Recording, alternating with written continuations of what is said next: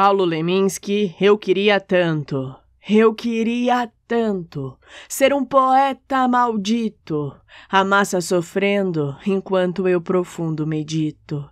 Eu queria tanto ser um poeta social, rosto queimado pelo hálito das multidões. Em vez, olha eu aqui, pondo sal nesta sopa rala, que mal vai dar para dois.